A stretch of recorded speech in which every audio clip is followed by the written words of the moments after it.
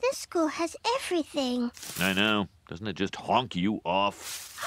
Their periodic table has 250 elements. And our school board's cut us back to 16. All of them lanthanides. You know, we could get equipment like this through a bond issue.